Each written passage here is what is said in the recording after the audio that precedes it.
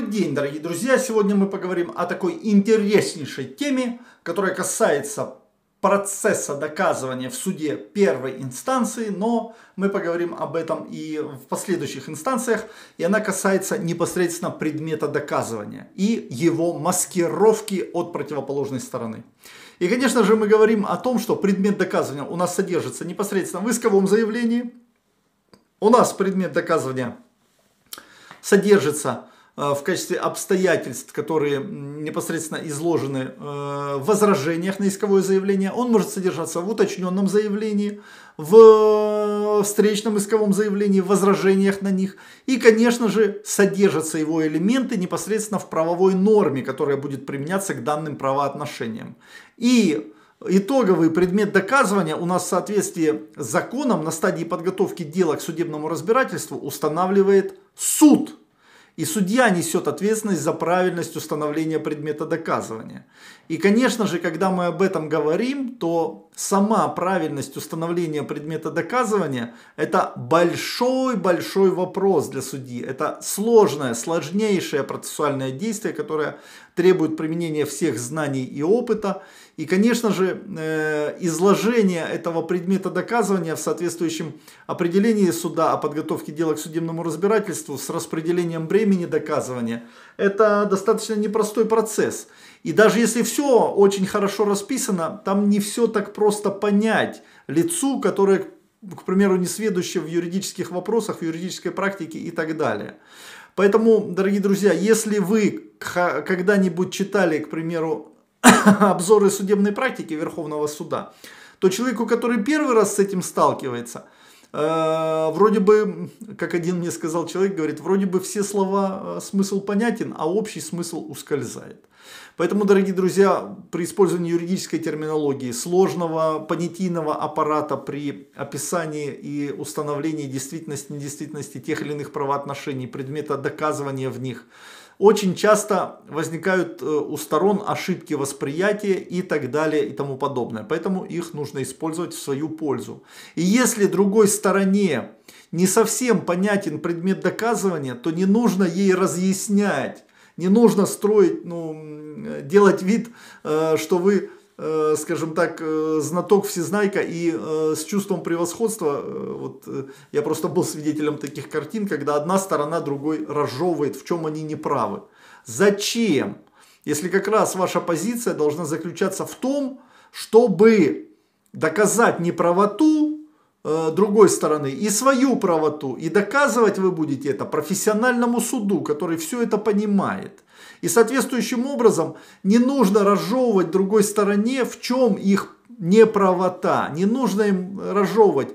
Зачастую необходимо при э, доказывании того или иного предмета запустить э, в процесс несколько ложных целей.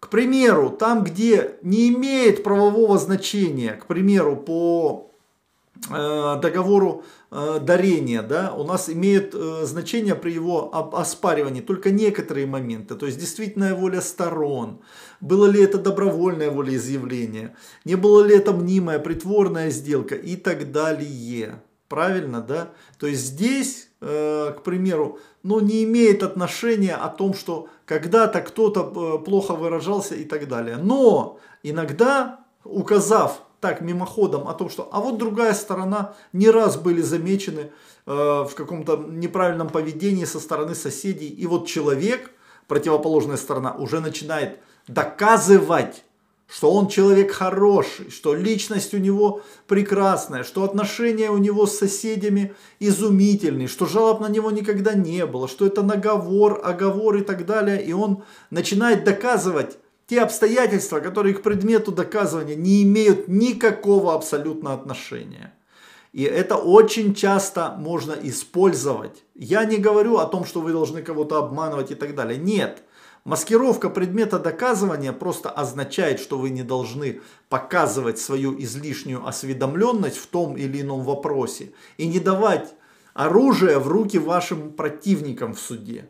Поэтому, дорогие друзья, конечно же, здесь необходимо для того, чтобы использовать этот прием, четко знать и понимать, какой предмет доказывания и какие обстоятельства, какими средствами доказывания вам, вам нужно доказать. Вы должны видеть свой путь, вот эту тропинку, по которой вы идете к судебному решению, целиком и полностью. И понимать, что точно такая же тропинка проложена и вашими противниками. Но вы не должны им показывать. Вы должны им показать несколько ложных тропинок. Пусть они по ним идут. Пусть они по ним пытаются доказать те обстоятельства, которые не будут иметь значения для дела. Пусть они тратят свои процессуальные силы, процессуальную энергию Пусть они э, не, не, не увидят то, что в процессе действительно подлежит процессу э, доказывания. Кто-то мне скажет, что это что-то такое немножечко непонятное. Это очень понятно любому маломальски грамотному юристу, когда к нему приходит человек для того, чтобы подготовить апелляцию, кассацию и начинает рассказывать обо всем, кроме тех обстоятельств, которые имеют значение для того, чтобы предмет доказывания был доказан и чтобы победить в процессе. Про все человек расскажет. Вот, абсолютно про все, что не имеет значения для дела правового. Нарисует кучу картин и так далее. Э, дорогие друзья, и вот это зачастую, э, когда ваши противники так себя ведут, пусть они доказывают кто там с кем знаком, кто кого знает и так далее, какие были обстоятельства, какие они хорошие люди и так далее. У нас правовое значение имеют совершенно другие обстоятельства зачастую. И маскировка предмета доказывания, она используется, э, многие э, преступники об этом знают и э, государственными обвинителями, потому что там тоже бывают достаточно сложные предметы доказывания по уголовным делам. И я, когда поддерживал гособвинение, тоже сталкивался с самыми разнообразными ситуациями, когда э, преступники не понимали, в чем состоит предмет доказывания. А, там не нужно доказывать свою добросовестность, там нужно доказывать отсутствие состава или события преступления. И не нужно показывать зачастую свою преступную осведомленность и так далее и тому подобное. Поэтому, дорогие друзья, э, эти же приемы, они работают и в гражданском процессе всегда старайтесь э, так, чтобы э, нужно свое э, поведение процессуальное и документы, которые вы готовите для суда, готовить таким образом, чтобы суду, который является профессионалом и осведомленным в этих вещах, органом, должностным лицом, судьей в конечном итоге, ему все будет понятно. Но делайте так, чтобы другой стороне не был понятен, как на блюдце этот предмет доказывания. Пускайте их по ложному следу, по ложным целям. И пусть они не доберутся до сути дела, не поймут, что нужно доказать конечном итоге. Не в каждом деле это возможно, зачастую иногда очень простые предметы доказывания, но и в простых предметах доказывания тоже есть свои нюансы.